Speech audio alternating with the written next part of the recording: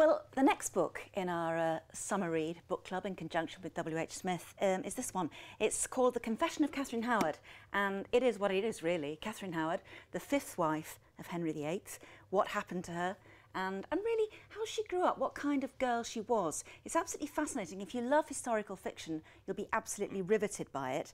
Um, and the author, Suzannah Dunn, is, is here with us now. Hi. Um, you like, I mean, you write historical fiction anyway, don't you? Well, I do now. I didn't come from that background. Really? Yeah, and I don't think of myself really as writing historical fiction, but it, I write fiction and it's set, it's set, Set in a historical period, so I guess it is, Yeah, because it is very much a story. It's not kind of, it's, it's not a, a kind of, I mean, uh, presumably it is historically accurate. You presumably make sure of that. Absolutely. But it doesn't read like that. It doesn't read like you are reading a treatise on what happened to Catherine Howard. It's a proper novel. Proper novel. And what really astonished me when I read this was I had kind of thought, despite Henry VIII's reputation with his wives, which we all know about, I had kind of thought that presumably in those Tudor courts, um, everyone was sort of quite prim and proper. And actually, They were weren't at it they? like rabbits. At it Yeah, like they weren't rabbits. Victorians. It- No. well, Victorians probably weren't Victorians either. I mean, I don't know. It's not my period of history. But no, the Tudors were an earthy lot. What's interesting is that Catherine, when she became the fifth wife of Henry, she was very, very young, wasn't she? Yes. Uh, about 17, 18? we don't know. No, I mean, in fact, she's a fascinating. We, we- we know almost nothing about her, and we have no idea how young she was. But the guesstimates are between 17 and 19, really. And, and he was by that time in his 40s. Yes, he was, and starting to become the Henry that we know from the pictures. Big, fat. Filling out, yeah, slowing down. Because of course he hadn't always been like that. You know, we tend to No, forget that. young- No, young, he yeah, was very, young, very, very attractive. very yeah, handsome man. but by this point, Yeah, and Catherine was very, uh, you paint her as being very petite. she was. Like we, a- we think she was. Yeah, yes, she and was very tiny. pretty, like, like a sort of por- porcelain doll. Well, do you know, that's interesting you say that because I don't think I do say that anyway. Sorry to contradict you, Judy. Um, I think what's fascinating about her is we nobody says she was particularly good looking, Oh. and uh, she certainly wasn't classically attractive, and, and not She in the looks pretty Tudor fit way. to me on the cover. Got to be honest. I know it's a lovely, that's I love it. She's she's great, isn't she? um, but you know, the Tudor ideal, of course, for women would have been pretty well built, pretty buxom. Yeah. Um, and we don't. We think she was. She was slight. She was a little girl. She was a little girl. Judy talks about the sexual mores of the time, which barely existed. What's interesting is that because she she was marrying this kind of fat, rather smelly old king, she felt that gave her license to continue having having her other liaisons. I think she did. I thought about it long and hard and looked at what her. Well, you know, we, we do have her confession. You know, you can go on the internet and find it because you Yes. know copious notes were yeah. kept at the time uh, of what of what she said. And she doesn't say this, but really looking at it, I think that she probably felt I'm doing a really good job, and she was. You see, he was delighted. This is the awful thing. They'd been married about a year and a half when he found out what was going on, and he was delighted with her. They'd had no problems whatsoever. Um, she'd given him a new lease of life. Uh, court was fun again. A lot of people Yeah, said yeah. that around that time. Yeah. It was all going swimmingly, and I suspect she thought I'm doing a damn good job, and I'm having to do a job, so off duty. I think that's she- what, that's, she- that's what comes through very, very Yeah. clearly, actually, in the writing. But I must say, re, as I was reading, I was thinking, because we all know what's going to happen to her, she's going to lose her head. And you think, what are you doing, I child? know. What are you doing? I doing? know. She He's knew the about, king. I she know, knew about Anne. Boleyn. What Yeah, she had knew what happened happened to Anne Anne Boleyn for the same reason. Yeah, So, yeah, yeah. But I She convinced think herself. It, it's very hard to know what was going through her mind, or, or, or nothing at all going through her mind. But I think it was to do with her coterie of friends. You know, she was very unusual in that she'd brought this close little circle of her friends with her, and they'd grown up with her, as is shown in the book, at her step grandmother's mm-hmm. house. Yes. That's where they'd all grown up together. And I think she thought, because they had always made it possible for her, they'd always covered for her, they'd always supported her, they'd always made these mm. liaisons possible.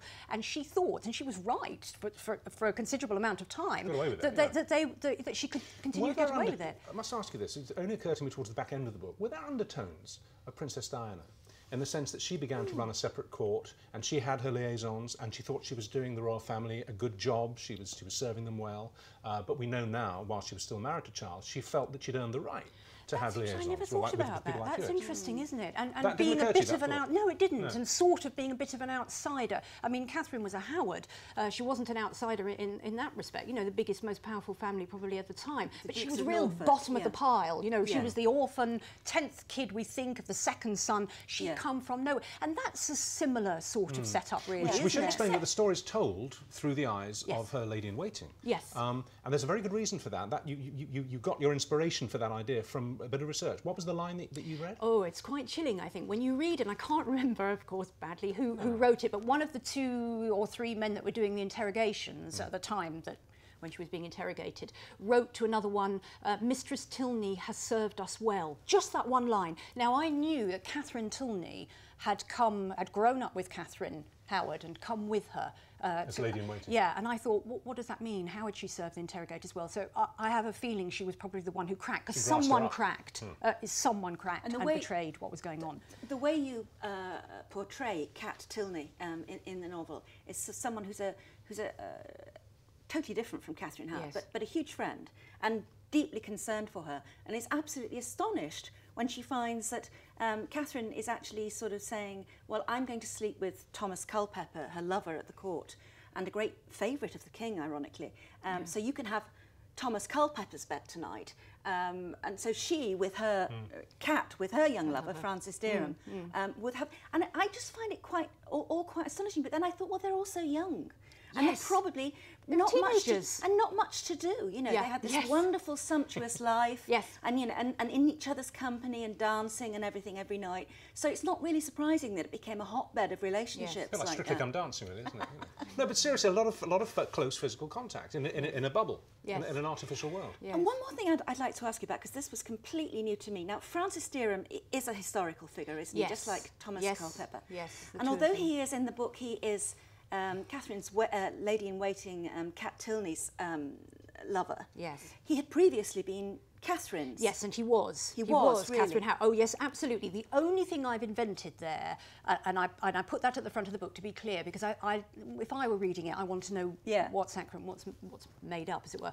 Um, is is that that when Catherine Howard moved on from Francis Dereham, which she did when she went to court, it was you know had enough now, thanks yeah. Francis, which is what how she operated with men. I mean, she very much instigated her affairs, and she finished them you know, when she, when she wanted to finish them. Right. She moved on, and I have invented that then her best friend has a love affair with right. Francis Dereham. So yeah. that's the invention but, there. So, but, can, can, I, just ask about the pre-contract because that was yes. what I wanted to.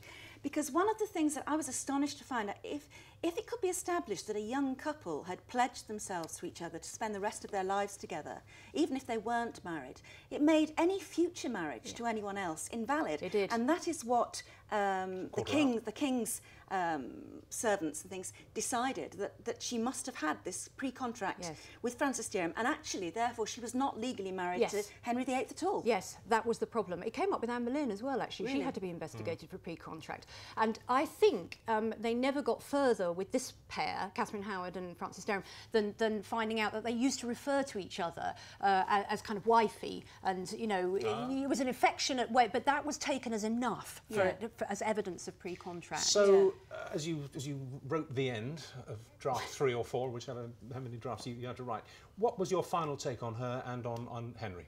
As, as, as, real human beings who lived and did these things, what was your final take on both of them? With Catherine, my final take on her is, you know, she, she uh, trust me, she is portrayed by all historians, I think, as a silly little girl. Right. Um, and she was little and she did do a very silly thing.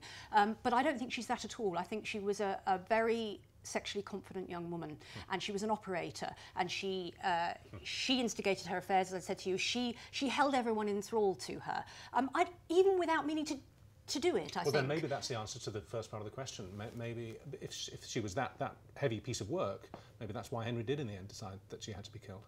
Yeah, yes. Too, um, too, too strong to handle. Yeah, well, no, I think he was horrible because I think he hadn't picked up on that. You know, he used to call her his um, rose without a thorn. He That's thought right. she had no history and he'd had all these complicated wives. You know, he'd mm. had a bit of a time with the wives uh, so far. And along comes this little Popsy with no history. and then to discover that she has the most florid history of any of them. yeah. Yeah, he, yeah. he was he was absolutely devastated and, and everybody says he was. You know, he went into one. I mean, he just went off and he cried and he wouldn't see her again. He never saw her again mm. from the moment. And then he chopped her head off. Yeah, yeah. it took a couple well, of months, had, but yeah. it done for him. Yeah, yes. Having a toothpaste put on your brush. Um, Suzannah, thank you. Suzannah, thank, thank you. you. It's, it's, it's, I mean, I have to tell you that I, I, this is true of all our book club reads, not all of them, but many of our book club reads.